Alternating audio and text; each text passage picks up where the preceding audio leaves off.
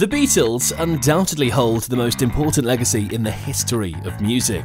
Love them or loathe them, pretty much all pop music we know today can trace their roots back to this one indelible foursome. No other band on the planet has stood the test of time and remains so revered 60 years on, quite like the Beatles. Despite the monumental success of these four friends from Liverpool, it's well recorded that tensions were often high within the band. For the majority of its existence, the Beatles were mere moments away from boiling over into catastrophe. There were constant fallouts, bickering, and disagreements between the four.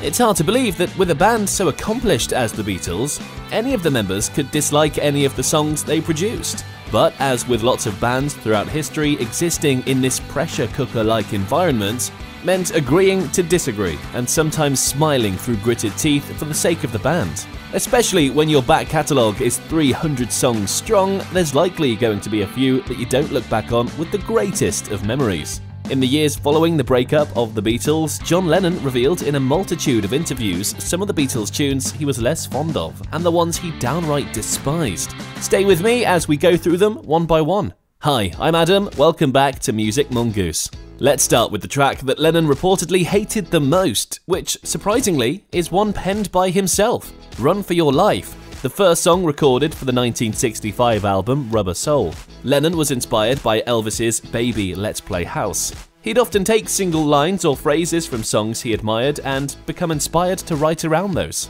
In Baby Let's Play House, the line was, I'd rather see you dead, little girl, than to be with another man. Run for Your Life was then born around that line. But for whatever reason, it seemed the connection for the resulting song Lennon wrote never formed. I never liked Run for Your Life because it was just a song I knocked off, he told Rolling Stone magazine. It was just a song he wrote for the sake of it.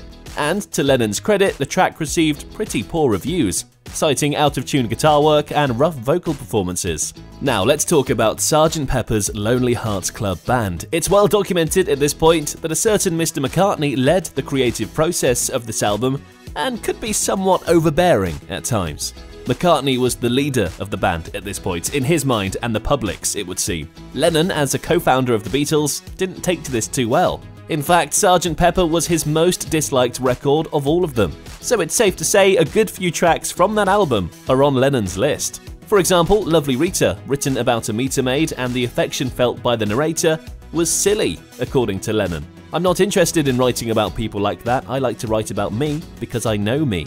Another track from Sgt. Pepper, hated by Lennon, was When I'm 64. This song had huge sentimental value for McCartney. It was the first song he ever wrote at the age of just 16, all about the adorable notion of growing old with your partner. Lennon wasn't a fan. He even went so far to describe it as granny music in one interview, whatever that means. I would never dream of writing a song like that, Lennon would later say. If you're thinking this is all just a petty attack on Paul for being a bit of a d- during the recording process of Sgt. Pepper, fear not. He also disliked his own song from that record, Good Morning, Good Morning. This one was inspired by TV commercials for Kellogg's Cornflakes and the BBC sitcom Meet the Wife. Lennon would often have the TV on very low in the background during his writing process, and this time it proved as the inspiration he needed for this track. However, in hindsight, Lennon was not a fan. He called it a throwaway, a piece of garbage, in an interview. Pretty harsh. Another of Lennon's creations on Sgt. Pepper was Lucy in the Sky with Diamonds. Now, it might be a surprise to hear that Lennon despised this track, as it held so much sentimental value for him, reportedly inspired by a song his son Julian sang at nursery. Despite the personal connection to the track, he used the word abysmal to describe it in an interview, although perhaps he was criticizing the production of the song more than anything else. It's a great song, but it isn't a great track because it wasn't made right. You know what I mean? He continued. Hello Goodbye, another firm fan favourite of the Beatles, was also disliked by Lennon. This was the A side for the experimental acid trip of a song that was I Am the Walrus. John Lennon, being John Lennon, pushed the band and label to make Walrus the A side, but gave in to defeat and accepted Hello Goodbye was safer commercially for that side of the record. He once described it as three minutes of contradictions and meaningless juxtapositions. The best bit was the end, which we all ad libbed in the studio where I played piano. What do you reckon? A genuine disliking of the track, or just bitter that I Am the Walrus didn't make it to the A side? Mean Mr. Mustard from Abbey Road was also a sore spot for Lennon. Written during his time in India, it was inspired by a newspaper article he had read about a man who hid money to avoid being told to spend it. In a 1980 interview, he described it as a bit of crap that I wrote in India, and, again, a piece of garbage. Now let's talk about the White Album. John Lennon regarded this one as the best of the Beatles. It was his favourite album they had produced. However, not even this one escapes the scrutiny of Lennon. The unlucky track in question is Birthday.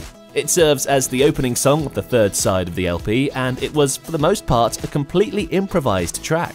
Described as a joint 50 50 effort between McCartney and Lennon, it was made up and recorded on the same evening at EMI Studios, all emanating from a single riff McCartney produced. According to assistant producer of the track Chris Thomas, McCartney was the first to arrive that day, immediately playing around with the riff. By the time the others had joined him, he had pretty much written the song. Some back and forth between Lennon and McCartney, and the track was as good as done. Lennon, reflecting on that evening, said he thought McCartney was trying to write a song like Happy Birthday Baby by the Tune Weavers, a hit in the late 50s.